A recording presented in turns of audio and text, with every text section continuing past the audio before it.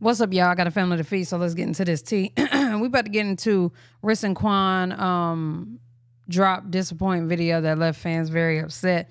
This is voice video. I'm not reacting to their video. Um, I was gonna put it on Patreon, but I ain't gonna lie, I already watched it. It's they didn't nothing. Nothing, nada.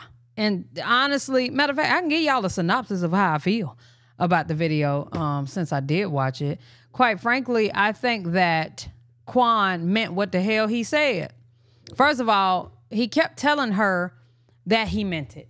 First of all, he looks disgusted with her. He looks disgusted in general. Um, whatever she did do, which I actually don't think it had anything to do with a man. I think that she has uh, overstepped her boundaries in some type of disrespect verbally to him. Um, it's given he ain't playing about her talking to no man, or it was a woman. but it's it's definitely given he ain't playing about her talking to no man. So I don't think it's cheating at all. But whatever it was, he wasn't feeling it. You know what I'm saying? And he still ain't feeling it. It's like, what could be the utmost disrespect for you if it's not cheating? Now, for some people, cheating is not the most up dis- disrespectful thing you could do. Um, sometimes it's loyalty and not, loyalty and cheating is not the same. People go through shit in their relationships, but that don't mean they'll let you uh, get kicked out and put your kid stuff out, or you know just grimy stuff like that. So I, I don't really know. Um, I don't know why they made the video. Now, granted, I've been here, done that. They don't have to come out and be like, "This is what happened." I absolutely agree with not coming out telling people what your business is because they use it against you unfortunately. You you are in a vulnerable place you you telling something vulnerable about your life and yourself and people just kind of roll you up under the bus for it and quite frankly that's so disrespectful. So um yeah that's what i got out of the video. It wasn't much but let's react to what Voice talking about. And Quan dropped the video titled Addressing Everything and didn't address nothing. Quan definitely made it clear that he meant what he said about being single for life on his sister, but being that Rissa didn't physically see the post because he had her blocked, technically they didn't break up. What? So when Rissa took to Twitter, what was she addressing? You posted up a picture from a hotel room. Sis didn't get the memo? Sis obviously got the memo because sis didn't have her ring on for the past couple of days, but in this video, she did. Someone said in the comments of the video, Rissa trying to show off her engagement ring to make a point. Quan can't even look at Rissa praying y'all get through whatever it is. They wasted my 19 minutes. They basically said nothing. I mean, not only that, the whole time they couldn't even speak cordially without interrupting each other. It, it, was no waiting on what you were gonna say or nothing. It, it's clear that they're still not over whatever it is. I kind of wish they would have just waited until they was over it. I understand uh, the severity because of the the fans and stuff, but Will we ever know the whole truth? What caused this major upset? These are the questions we need answered. So much for addressing everything. Be for real. Y'all didn't address nothing. Should have just kept quiet at this point because what is this? Quan looked like he was forced to say anything to preserve Rissa's dignity. The way he can't even look at her, it looks like he was forced to do this video because Rissa completely trying to control the narrative. Quan, blink twice if you're in danger. Straight up. There was no point of this video. Should have just came with the pranks like it was nothing. That's exactly what they were trying to do when they posted up the previous video. But when people kept mentioning what Quan said about being single and that they broke up, they was forced to make this video, which in this video, they really didn't say nothing and I get it. Y'all don't want anybody to know the truth of what happened. Y'all gonna sweep whatever happened behind the scenes under the rug like any other YouTuber. I call this the brewing phase when stuff continuously happen until things get real hot and then all of a sudden things just start to spill over and then a year or two down the line, people start telling us the real truth of what actually happened. And that does happen.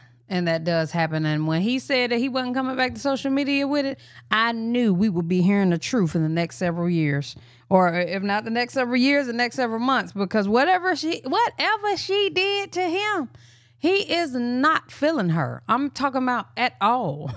like he not feeling her. Like he was so upset. And granted, clearly he's going through something mentally, like he said. So um, it could be anything, but he ain't happy with her right now. And then we sitting there shocked watching a two hour video, like, what? I don't know if you just addressed that though, like with you saying like you were single for life or whatever. Like a lot Yeah, of them so- were wondering like, oh, did we actually break up? Like, can we please let First them of all, you would not keep telling me that you about to be single, uh, not not about to be single for life. I meant what I said. No, no, no, because I meant what I said. What I said, I meant it. He kept saying that. So it's like he don't want to be with her right now. Know like what's going on because you guys had no Uh, idea. you know I'm So He kept that. meaning it. That's how I felt. Um, I meant it, but in reality, at that time, I had Rissa blocked. No communications. I didn't like. It's giving she hit him with the you can't break up with me unless I agree to it. Because when he said, um, you know, when you when you in relationships and, and y'all break up and the other person don't agree, well, that's just simply not true. If we said if I said we breaking up, and because I want to break up, it's a wrap.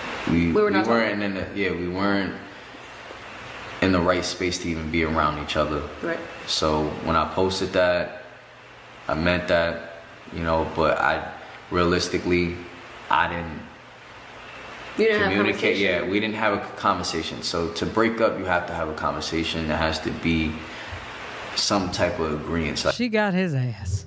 you have to be in agreement that this is what we're gonna do.